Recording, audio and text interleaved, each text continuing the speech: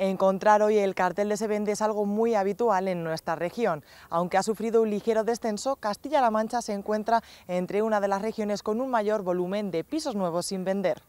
Castilla-La Mancha es una de las regiones con un mayor volumen de pisos a la espera de venta. En concreto, nuestra región cerró el pasado año con un total de 45.200 pisos sin vender. Aunque las ventas han mejorado, los datos continúan siendo alarmantes.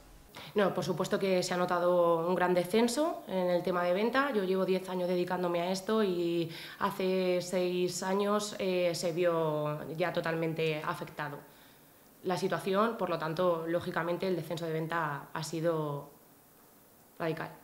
El precio medio de las viviendas de alquiler aumentó en el segundo trimestre del año hasta situarse en junio en los 7 euros por metro cuadrado. A pesar de esta subida, la imposibilidad de comprar una vivienda nueva o de segunda mano provocan que la población castellana-manchega siga prefiriendo la opción del alquiler. El descenso de venta implica pues, un aumento de alquiler, puesto que si la gente no puede comprar, tiene que eh, seguir alquilando.